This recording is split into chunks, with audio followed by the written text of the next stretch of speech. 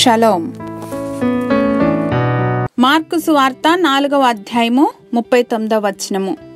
Gospel according to Mark chapter four verse thirty nine అందుకు ఆయన లేచి గాలిని గద్దించి నిశ్శబ్దమై ఊరకుండమని సముద్రముతో చెప్పగా గాలి అణిగి మిక్కిలి నిమ్మళమాయెను.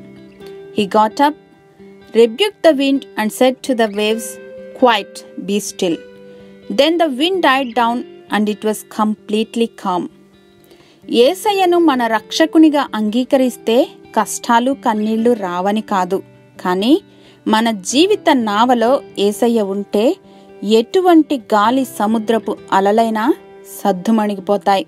దేవుని శక్తి చేత కాక మానవ జీవితంలో రేగే తుఫానులను మానవుని యొక్క జ్ఞానం అణగజేయజాలదని గుర్తించాలి.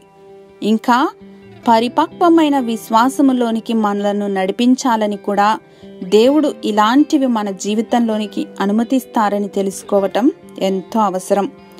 శూన్యం నుండి సర్వమును సృజించి వాటన్నింటినీ క్రమబద్ధీకరిస్తున్న దేవునికి అసాధ్యమైనది ఏదైనా ఉందా?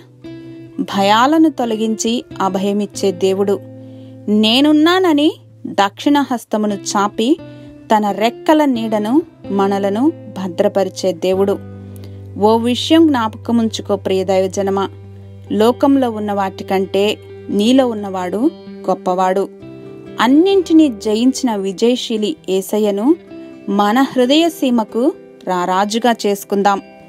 In your time of trouble Jesus can bring peace and rest he's the prince of peace hallelujah మా ప్రియ పరలోకపు తండ్రి ఎహోవా కొరకు ఎదురుచూచువారు నూతన బలము పొందుతారన్న మీ వాగ్దానమును చేతపట్టుకుని మీ తట్టు మా కనులెత్తగా ప్రతి తుఫానును నిమ్మళపరిచి నెమ్మదిని అనుగ్రహించమని యేసు నామములో వేడుకొని పొందుకొని మా ప్రియపరలోకపు తండ్రి.